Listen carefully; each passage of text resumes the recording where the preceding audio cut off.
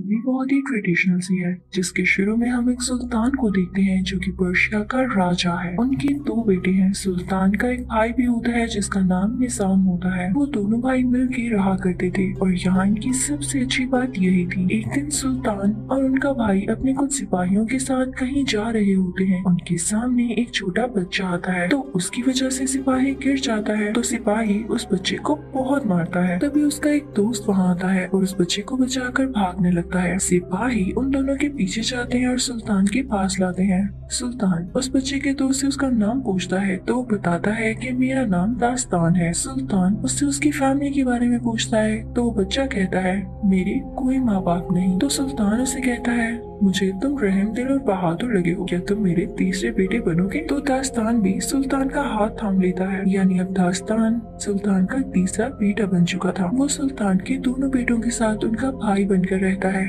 और अब पंद्रह साल बीत जाते हैं। सब भाई बड़े हो गए होते हैं। यानी जवान लड़के बन गए होते हैं। लड़कों के साथ इनके चचा निज़ाम भी होते हैं। ये सब मिलकर एक सिटी पर अटैक करने का प्लान बनाते हैं। क्योंकि ये सिटी इनके दुश्मनों को हथियार देती थी। अब यहाँ पर दास्तान कहता है कि मैं सबसे पहले अटैक करूँगा तो सुल्तान का बड़ा बेटा कहता है, नहीं, तुम अभी छोटे हो। तो वो अपने ही भाई से कहता है कि, तुम सबसे पहले अटैक करोगे।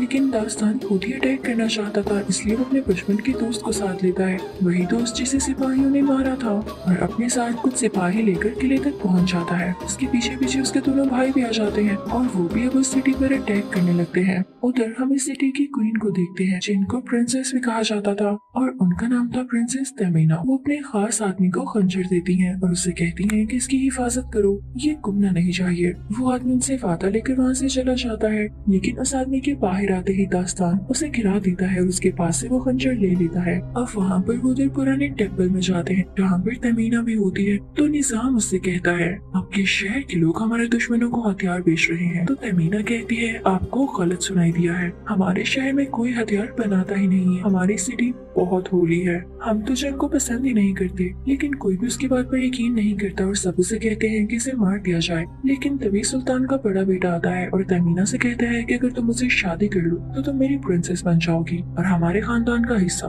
तब तुम्हें कोई नहीं मार सकता। तो तमीना कहती है, नहीं, इससे अच्छा है कि मैं मर जाऊँ। लेकिन जब वो देखती है कि दास्तान के पास उसका कीमती खंजर है तो शादी के लिए हाँ कह देती है। यहाँ पे तैयारियाँ होने लगती है, जश्न होता है। लेकिन साथ ही सुल्तान अपने बड़े बेटे को याद करता है और उसे बुलाकर कहता है की मुझे तुम पर बहुत गुस्सा है। एक तो तुम इतने मुकदस शहर पर अटैक करने चले थे और दूसरा मुझसे पूछे बगैर अपने फादर से ये भी कहता है कि जब तक मैं आपको प्रूफ न कर दूँ कि वाकई वो हथियार बनाते थे और हमारे खिलाफ इस्तेमाल करते थे, तब तक मैं आपके सामने नहीं आऊँगा। वो वहाँ से चला जाता है और दास्तान को एक ड्रेस देता है। ये लो, ये अब्बा जान के लिए है, यानी सुल्तान के लिए। और उन्हें ये भी बता देना कि मेरी और प्रिंसेस तमीना की शादी हो रही है। अब दास्तान प्रिंसेस तमीना को भी अपने साथ सुल्तान के पास लेकर आता है, ताकि सुल्तान का अपने भाई की शादी के लिए अप्रूवल ले सके। अब दास्तान अपने फादर को जाके वो ड्रेस देता है। तो इसे देखकर वो बहुत खुश होते हैं। साथ ही दास्तान तमीना को आगे करता है और कहता है की ये भाई की पसंद है। वो इससे शादी करना चाहते हैं। तो सुल्तान कहता है, दास्तान, उसकी तो पहले कई ज़्यादा बीवियाँ हैं। तुम्हारी अभी तक शादी नहीं हुई।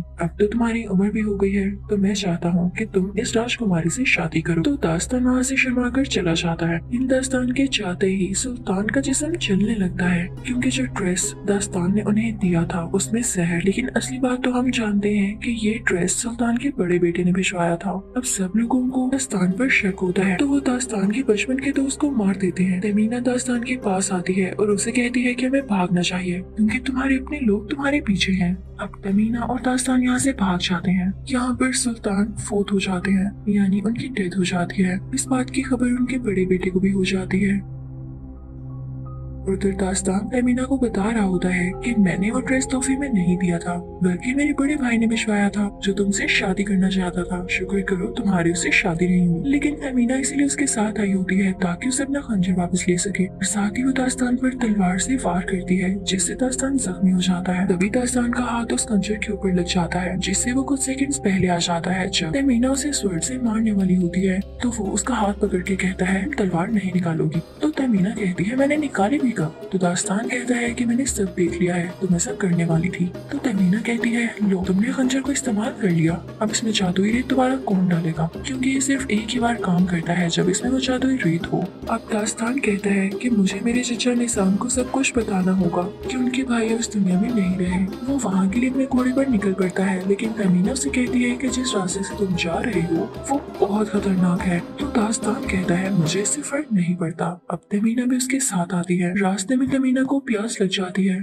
और वो एक्टिंग करती है जैसे वो बेहोश हो गई है। दास्तान उससे पूछता है कि क्या हुआ? तभी तमीना पास पर एक फ़ोन उठाती है और उसके सर पर अटैक करके वहाँ से अपना खंजर लेके निकल जाती है। यहाँ पर दास्तान बेहोश हो जाता है और कुछ देर बाद जब उसे होश आता है तो देखता है की उसके चारों तरफ़ कोई लोग है। उनका सरदार एक शेख होता है। शेख उससे कहता है की तुम हमारे कब्जे में हो। अगर तुम्हें अपनी जान की परवाह है तो इसके बदले में तुम्हें हमें कुछ देना होगा। तो दास्तान कहता है की आगे ही एक राजकुमारी जा रही है। ये लोग अपने घोड़ों पर जाकर उसे पकड़ लेते हैं। दास्तान से खंजर छीन लेता है और तमीना को उनके हवाले कर लेता है। अब शेख अपने लोगों के साथ अपनी जगह पर आ जाता है। उसने अभी तक दास्तान को नहीं छोड़ा था। तभी उसे पता चलता है कि तो वही है, सुल्तान का वो बेटा जिसने अपने ही बाप को मार डाला है। और जो कोई इसका पता बताएगा, उसको बहुत बड़ी रकम इनाम में मिलेगी। दूसरी तरफ़ तमीना, जो की ऑस्ट्रिच का ख्याल रख रही होती है, उनका दरवाज़ा खोल देती है, जिससे सारे ऑस्ट्रिचेस भागने लगते हैं और इनका फ़ायदा उठाते हुए तमीना और दास्तान में में भागने लगते हैं। अब वो वहाँ से बाहर निकलते ही अपना रूप बदलते हैं। कुछ लोगों के साथ मिलकर उसी जगह पर पहुँच जाते हैं जहाँ पर उनका चचा निसाम था।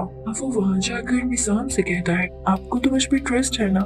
मैंने अपने फादर को नहीं मारा। तो निसाम कहता है हाँ मैं जानता हूँ। दास्तान उसे एक कवर देता है जिसमें खंजर था। लेकिन निसाम देखता है की वो तो खाली कवर है, उसमें खंजर है ही नहीं। यानी तमीना वो खंजर लेके दोबारा से वहाँ से भाग चुकी थी। तभी दास्तान नोट करता है की निसाम के हाथ चले हुए हैं, जैसे ड्रेस पहनते हुए सुल्तान का जिसम चला उसे पता चल जाता है कि सुल्तान के ड्रेस में जहर लगाने वाला कोई और नहीं, बल्कि उनका अपना भाई निशान था। निशान को भी पता चल जाता है कि दास्तान को उसके काले कामों का पता चल चुका है। वो उसे पकड़ने का हुक्म देता है। लेकिन दास्तान खुद से उन सिपाहियों को छुड़ाते हुए वहाँ से निकल जाता है। बाहर जाकर उसका बड़ा भाई उस पर अटैक कर देता है और उसे पकड़ लेता है। लेकिन दास्तान उनसे भी अपनी जान बचाते हुए बाहर आ जाता है और कहता है की मैंने सुल्तान को नहीं मारा। जल्द ही आपके सामने कातिल आ जाएगा। अब यहाँ पर सुल्तान के सबसे बड़े बेटे के पास जाता है और कहता है कि दास्तान मुझे मारने आया था। कोई पता नहीं वो तुम लोगों को भी मार दे तो उसे पकड़वाओ। लेकिन उसको इन सब बातों पर यकीन नहीं आता। तो निज़ाम खुद ही एक बहुत बड़े गैंगस्टर के पास जाता है और उससे कहता है कि मुझे तुमसे काम है। तुम्हें दास्तान और उस खंजर को वापस लाना होगा। अब वो दास्तान को ढूँढने के लिए निकल जाता है, क्योंकि उसे निज़ाम ने लालच दिया होता है। अब उधर दास्तान भी तमीना को ढूंढ लेता है। उससे वो खंजर ले लेता है। दास्तान तमीना से पूछता है कि तुम इस खंजर को हासिल करना क्यों चाहती हो? इसमें क्या ऐसी खास बात है? तो तमीना उसे बताती है कि इस खंजर को निज़ाम हासिल करना चाहता है तुम उसको ये खंजर देके बहुत बड़ी गलती करने वाले थे। वो इस खंजर से टाइम में पीछे जाकर अपने भाई की जगह खुद सुल्तान बनना चाहता है। और मैं चाहती हूँ कि मैं इस खंजर को जल्द से जल्द इसकी अपनी जगह पर रख दूँ। तो दास्तान कहता है अच्छा ये बात थी मैं भी तुम्हारी मदद करूँगा। और अब वो दोनों खुशी खुशी इस खंजर की असली जगह पर इसे रखने के लिए निकल पड़ते हैं। अभी लोग कुछ आगे जाके रेस्ट करते हैं तो तभी वहाँ पर शेख आ जाता है और इनसे कहता है, तुम लोगों की वजह से मेरे शुतुरमुर्ग भाग गए। अब मेरा लॉस कौन पूरा करेगा? तभी इनको किसी चीज़ की आहट फील होती है। क्योंकि दूसरी तरफ़ से इनके पीछे वो गैंगस्टर भी आ रहा होता है। और वो सब रात को सो जाते हैं, तभी वो गैंगस्टर अपने कुछ जहरीले सांप उधर छोड़ देता है, जो कि उन लोगों पर हमला करने आए थे। शेख के खास आदमी को जब वो सांप नज़र आता है तो वो घबराश आता है, लेकिन तभी दास्तानों से चलते हुए लकड़ी से मार कर मार डालता है, जिससे वो आदमी बहुत इम्प्रेस होता है, उसे खंजर दे देता है, ताकि बाकी सांपों को भी मार सके। यहाँ दास्तान सब सांपों को मारने लगता है, और शेख और उसके लोगों की जान बचा लेता है। ये बात शेख को भी बहुत अच्छी लगती है, और वो दास्तान से कहता है कि मैंने तुम्हें माफ़ किया, तुम्हें जहाँ जाना है मैं तुम्हें वहाँ छोड़ आता हूँ। अब शेख दास्तान और तमीना को वहाँ पर छोड़कर वापस जाने लगता है तो तमीना शेख को आवाज़ देती है कि हमें आपकी मदद की ज़रूरत होगी। हम जिस जगह जा रहे हैं, वहाँ हमारे लिए अकेले जाना शायद पॉसिबल न हो। तो शेख कहता है कि मुझे और बहुत सारे काम है तो तमीना कहती है, मैं जानती हूँ, आप पैसे की तलाश में हैं और जिस जगह हम जा रहे हैं, वहाँ से आपको बहुत सारा सोना और पैसा मिल सकता है। तो शेख इस लालच में के साथ जाने लगता है। वो लोग वहाँ से जाने लगते हैं कि तभी वहाँ पर दास्तान का बड़ा भाई आता है, यानी सुल्तान का दूसरा बेटा। वो दास्तान से आकर कहता है कि तुमने हमारे फादर को मारा है। तुम कभी सिंसियर थे? ही नहीं। अब दास्तान तमीना को वो खंजर देता है और कहता है कि तुम लोग जाओ, मैं आता हूँ। और इसी के साथ ही वो अपने भाई से कहता है, भाई, मैंने अपने फादर को नहीं मारा। ये सारा किया धरा निज़ाम का है। ताकि वो सुल्तान बन सके। कोई पता नहीं, वो आप लोगों को भी मार दे। और यकीनन, वो ऐसा करेगा। लेकिन उसका भाई उसकी बातों पर यकीन नहीं करता। तभी वहाँ पर वो गैंगस्टर आ जाता है और दास्तान के भाइयों के सिपाहियों पर अटैक करने लगता है। साथ ही साथ वो सुल्तान के बड़े बेटे पर भी हमला करता है और वो बेहोश हो जाता है। उधर तमीना एक टेंपल में पहुँच चुकी होती है, जो कि उस खंजर की असली जगह होती है। अब तमीना उस खंजर को वहाँ पर रखने ही वाली होती है कि तभी पीछे से वही गैंगस्टर आ जाता है और एक लोहे के औज़ार से उस पर अटैक करता है, उसे मारता है। उसके बाद वो दास्तान की तरफ़ बढ़ता है यहाँ तमीना बेहोश हो जाती है। उसके हाथ से गिरा हुआ खंजर गैंगस्टर का सांप आकर निकल लेता है और अपने ऑनर को, यानी मालिक को दे देता है। वो गैंगस्टर दास्तान को मारने ही वाला होता है कि तभी सुल्तान के दूसरे, यानी मिडिल चाइल्ड को, जो कि दास्तान का बड़ा भाई था, उसको सब कुछ समझ आ जाता है तो वो पास बड़ा नीचा उठाता है। उस गैंगस्टर के पेट में दे मारता है, जिससे उसकी वहीं पर डेथ हो जाती है। लेकिन साथ में वो बेचारा खुद भी काफ़ी जख्मी हो चुका था, और यहाँ पर वो दम तोड़ने से पहले दास्तान से कहता है, मेरे भाई, मुझे तुम पर यकीन है। प्लीज़ हमारे किंगडम को बचा लेना, और ये तुम कर सकते हो। इधर दास्तान और तमीना दोनों बहुत परेशान होते हैं, क्योंकि खंजर उनके हाथों से निकल चुका था। उधर हम देखते हैं कि वही साम, जो बड़े शौक से खंजर निकल कर अपने मालिक को देने गया था, मालिक उसका पेट ही चीर कर वो खंजर बाहर निकाल लेता है और सीधा जाकर निशान को दे देता है। फिर हम देखते हैं कि दस्तान अपने भाई को दफनाता है और शेख को बताता है कि हम अब चाकू में वही खंजर वापस लेने जाएँगे। यहाँ पर शेख का खास आदमी उसे कहता है, हमें इन लोगों की मदद करनी चाहिए। तो शेख मान जाता है और ये सारे लोग निशाम के पास जाते हैं। अब वहाँ पर निशाम और उसके लोग उसी जादुई रेत को तलाश कर होते हैं, जो कि खंजर में डाली जा सके और वक्त में वापस जाया जा सके। लेकिन काफ़ी गहरी खुदाई करने के बाद भी वो उन्हें मिल नहीं रही होती। शायद वो लोग उसे डिजर्व ही नहीं करते। अब बाहर शेख का खास आदमी कहता है कि मैं खंजर लाऊँगा, मैं ताकतवर हूँ, मैं ऐसा कर सकता हूँ। अब वो लोग उस टेंपल के बाहर सारे कार्ड्स को बेहोश करते हैं और वो आदमी अंदर चले जाता है। लेकिन अंदर जाते ही गैंगस्टर उस आदमी के चेस्ट पर चाकू फेंकता है,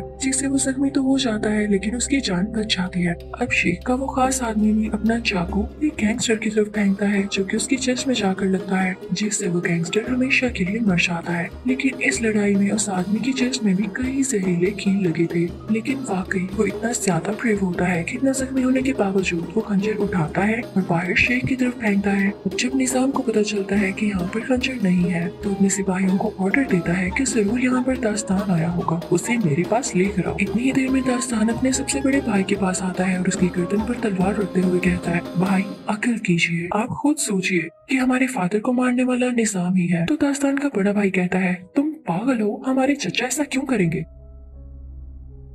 दास्तान कहता है चचा ही तो कर सकते हैं, क्योंकि वही हमारे फादर के एक भाई हैं। और उन्होंने ही सुल्तान को इसीलिए मारा ताकि वो खुद बादशाह बन सके, खुद सुल्तान बन सके। कुछ समझ नहीं आती कि वो क्यों चाकू या खंजर हासिल करना चाह रहे हैं, ताकि उसमें जादुई रेत डालकर वो वापस वक्त में जा सके और उस वक्त खुद सुल्तान बन सके जब हमारे फादर सुल्तान बन रहे थे। दास्तान का भाई कहता है, मैं तुम्हारी फजूल बातों में नहीं आने वाला। ये कहानी किसी और को सुनाना चाहकर? तो दास्तान कहता है, नहीं भाई कहानी क्यों सुनाऊँगा? तो उसका भाई कहता है, क्योंकि तुम मुझे भी मारना चाहते हो। तुम्हें खुद जो सुल्तान बनना है। तो दास्तान कहता है, नहीं भाई, मैं आपको नहीं मारना चाहता। ये ले मैं खुद को मार लेता हूँ। लेकिन इससे पहले कि मेरी जान जाए, जब मैं खुद को खंजर मारूं तो इस खंजर को ऊपर से दबाइएगा और आपको खुद ही सब कुछ पता चल जाएगा। इसी के साथ ही दास्तान खुद को खंजर मार लेता है, लेकिन तभी वहाँ पर निशान आ जाता है। दास्तान का बड़ा भाई उसे कहता है की आप वही रुकिए जब तक मैं न कहूँ। और खंजर को ऊपर से दबाता है तो वो भी पीछे चला जाता है। जहाँ पर दास्तान खुद को खंजर मारने ही वाला होता है तो उसका भाई उसे रोक के कहता है, मेरे भाई, मुझे तुम पे यकीन आ गया है, खुद को खंजर मत मारना।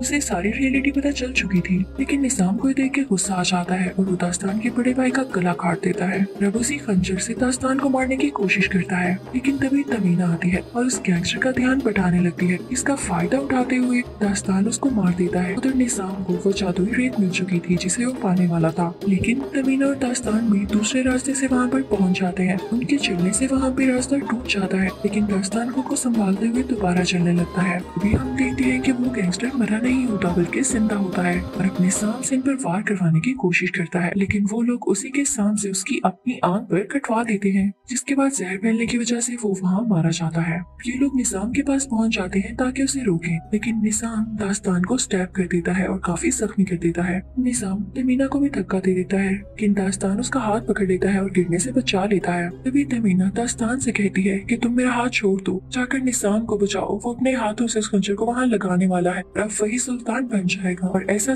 सालिम सुल्तान किसी भी किंगडम के लिए खतरा हो सकता है। तुम्हारे लिए ये काम करना ज़्यादा ज़रूरी है। यहाँ पर दास्तान को उसका हाथ छोड़ना पड़ता है वो सीधा निसाम के पास जाकर उसे रोकता है। लेकिन देर हो जाती है और निसाम उस खंजर को रेत की घड़ी में डाल देता है, जिससे वक्त बहुत पीछे जाने लगता है। इन दास्तान अभी भी फ़ौरन से उस खंजर को जगह से बाहर निकाल लेता है, जिससे वक्त दोबारा से ठीक होने लगता है। वे वहाँ पर रेत का तूफ़ान आता है और वो दोनों उसमें उड़ते उड़ते एक जगह पर आ जाते हैं। वहाँ पर दास्तान खुद को उसी जगह पर पाता है। वहाँ पर अभी कोई फसाद शुरू नहीं हुआ था और उसके सारे फैमिली मेंबर्स ज़िंदा थे। यहाँ पर दास्तान अपने भाइयों को सब कुछ बता देता है। जब निसाम को पता चलता है कि बस अब तो मैं पकड़े जाने वाला हूँ। तो सुल्तान के सबसे बड़े बेटे पर अटैक करने लगता है। लेकिन उससे पहले ही सुल्तान का बड़ा बेटा उसे स्टैप करके मार डालता है। दास्तान का बड़ा भाई उसी होली सिटी में जाता है और वहाँ की राजकुमारी अपनी प्रिंसेस तमीना से माफ़ी माँगता है की हमने आप पर ब्लेम लगाकर आप पर अटैक करने की कोशिश की। फिर अपने भाई दास्तान के लिए तमीना का रिश्ता माँगता है, जहाँ पर उन दोनों की हैप्पीली शादी हो जाती है। वो लोग उस कंचर को उसकी जगह पर वापस रख देते हैं। इसी के साथ इस मूवी का एंड भी होता है।